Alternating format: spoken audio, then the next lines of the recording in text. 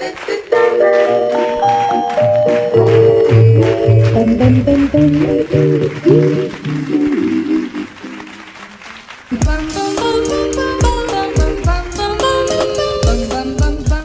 morning! Today I'm going to share with you guys my healthy morning routine. So I start by making my bed every morning because completing one simple task tricks your brain into feeling accomplished and on the right track. Next, I boil some water and then add some lemon to it, and this helps flush the digestive system and rehydrate the body. I usually do this within 30 minutes before breakfast, so this is a great time to read or plan what I have going on for the day.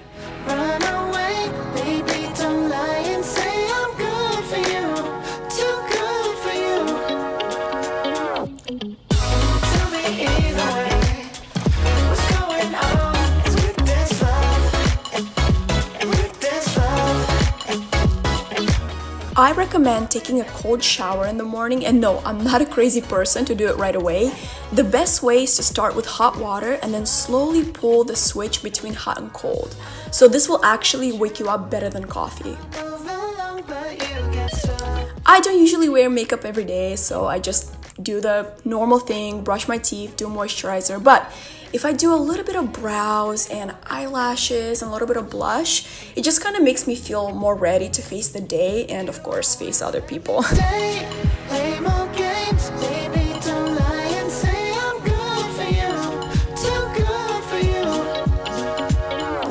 For breakfast, it makes it so much easier to get lots of nutrients in by making a simple fresh juice. I don't follow any particular recipes, I just add whatever I have in the fridge and make sure I add some veggies or greens so it's not just all sugary fruit juice. So for example, I absolutely hate celery, um, so I just add it uh, in the mixture of the fruits and it kind of masks it perfectly. It doesn't taste like celery at all.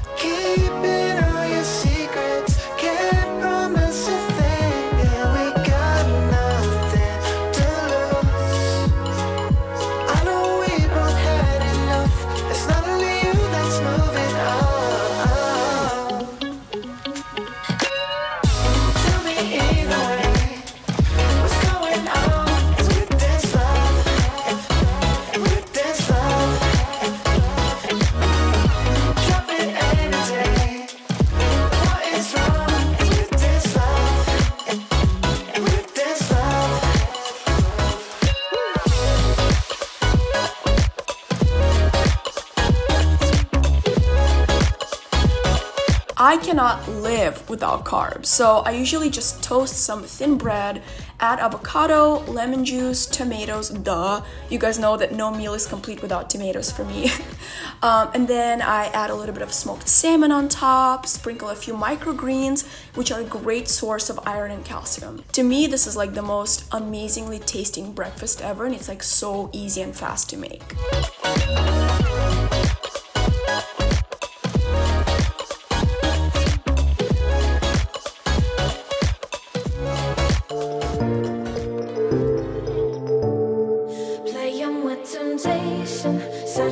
Salvation. Can we find our way back, way back? To be honest, I don't work out every single morning, but when I do, this is one of my favorite routines that I follow.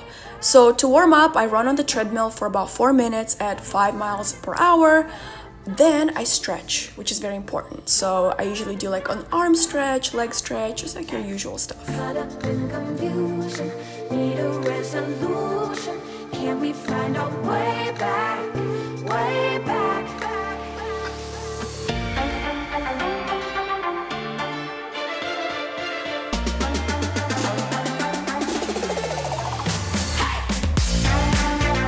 Next, I like to do squats with a 10 pound kettlebell, which is a great way to activate your glutes and leg muscles. So I do 12 reps, which is one set, and then two more sets with breaks in between. So a total of three sets. Next is abs, and I always kind of freestyle it. I start with 30 seconds of bicycle crunches, which is great for lower abs. Next, I do 30 seconds of leg raises, which activates your lower abs. Then I do 15 seconds on each side of oblique V-ups. And a great way to finish every ab workout is to do a one minute plank. And if you're feeling extra adventurous, you can add some hip rotation action. You know.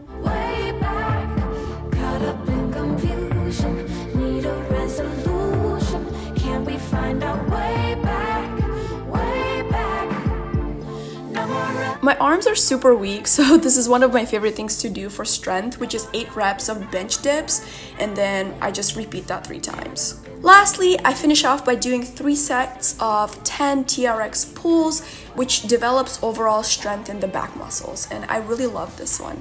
This is all I have for you guys. Please don't forget to hit that like button because it really helps me out a lot, and I will see you guys in my next video. Love you!